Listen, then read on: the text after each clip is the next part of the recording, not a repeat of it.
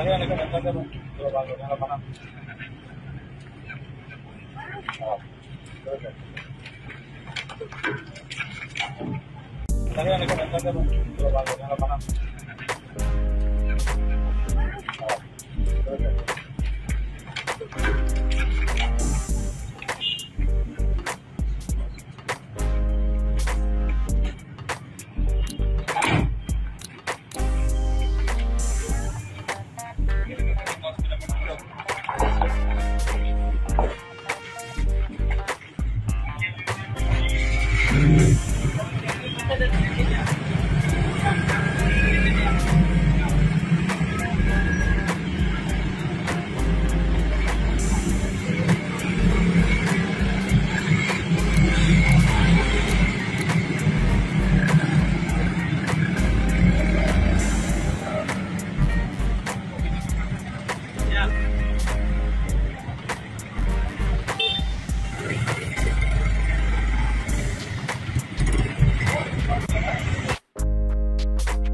Polisi telah menangkap dan menahan empat pelaku penyerangan kantor Satpol PP Denpasar, Bali.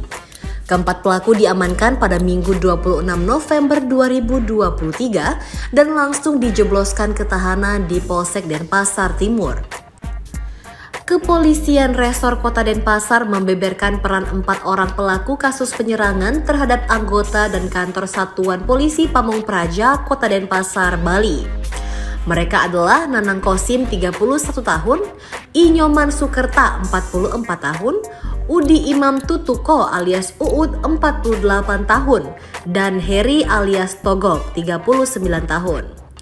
Keempatnya ditetapkan sebagai tersangka tindak pidana bersama-sama dengan kekerasan atau ancaman kekerasan melawan pegawai negeri yang melakukan pekerjaannya yang sah oleh dua orang atau lebih dan perbuatan tersebut menyebabkan luka sebagaimana dimaksud dalam pasal 214 ayat 2 ke 1 EKUHP.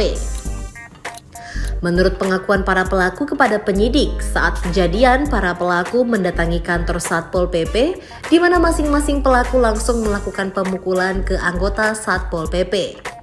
Kapolresta Bambang Yugo menjelaskan dalam insiden tersebut, pelaku Udi Imam Tutuko alias Uut menjelaskan dirinya bersama temannya masuk ke kantor Satpol PP dan memukul korban dengan menggunakan batu mengenai pipi serta dahi kanan korban.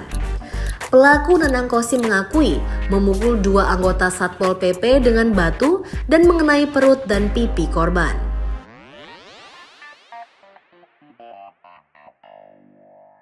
Download Tribun X sekarang, menghadirkan lokal menjadi Indonesia.